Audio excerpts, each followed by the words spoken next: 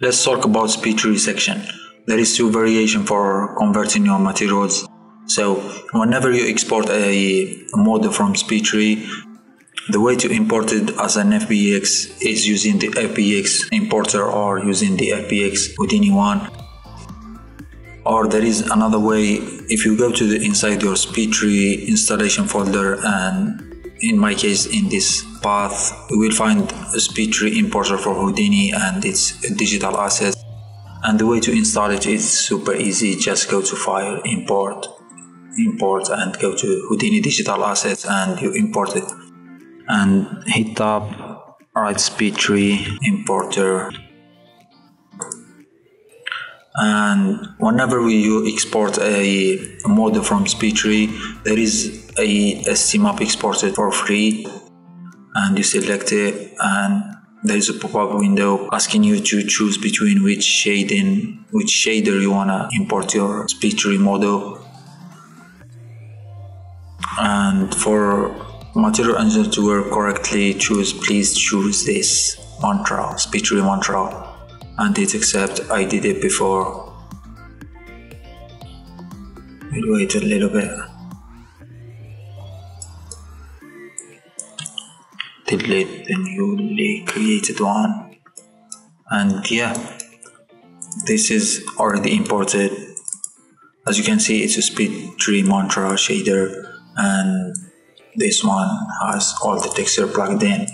So select your material and now we're gonna talk about the two variations. The first one is for gonna create a double-sided material for the leaves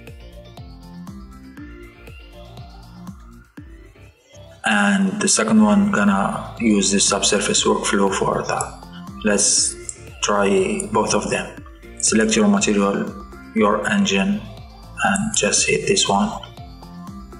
And choose your texture folder hit accept.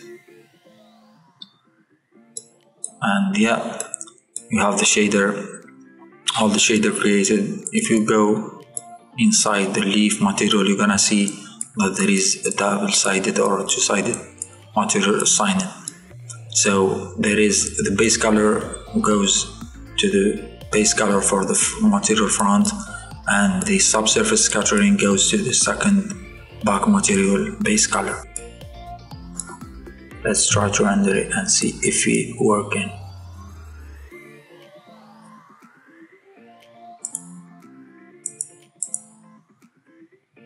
okay let's put the display flag here and render it.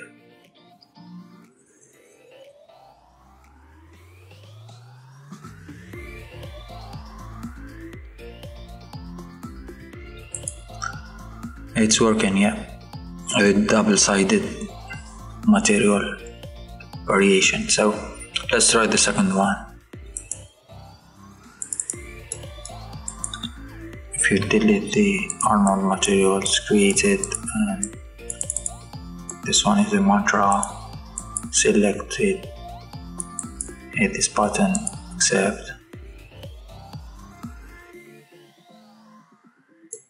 Okay if you go inside you can see it's a simple standard surface and the subsurface is in the subsurface.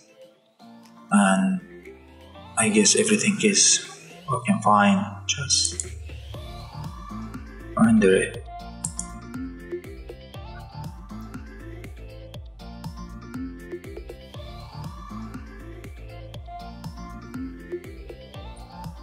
yeah it's working and it's up to you guys to choose between which variation you like and yeah. It's I think this section is straightforward to tackle and yeah. See you in the next section